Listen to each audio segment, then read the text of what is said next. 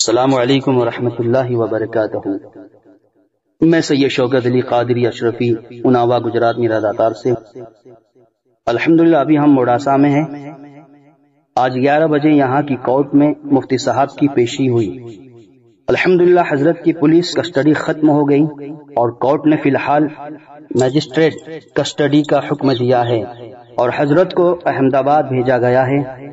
یہ بھی خیال رہے احمد آباد بھیجنے کا مطلب یہ ہے کہ وہاں پر حضرت کو بہتر سہولت ملے گی۔ اور ویسے بھی یہاں موڈاسا میں بھی الحمد جتنے روز حضرت رہے کوئی تکلیف نہیں تھی۔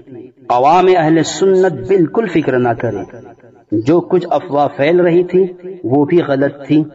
اور پولیس والوں کا اور ہر کسی کا رویہ حضرت کے ساتھ بالکل صحیح تھا۔ اور یہاں کی عوام بھی برابر حضرت کی خدمت میں پہنچتی تھی۔ اور حضرت نے روزہ بھی رکھا، تو سحری اور افطاری کا انتظام بھی اچھی طرح ہو جاتا تھا۔ آج حضرت کی پولیس کسٹڈی ختم ہو گئی اور فائنل بیل یعنی ضمانت کی درخواست بھی داخل کی گئی، جس کی سماعت پیر یا منگل کو ہوگی۔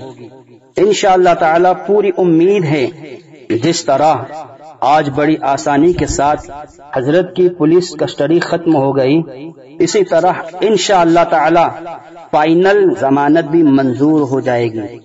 ہم دعا کر رہے ہیں اور آپ بھی دعا کرتے رہے۔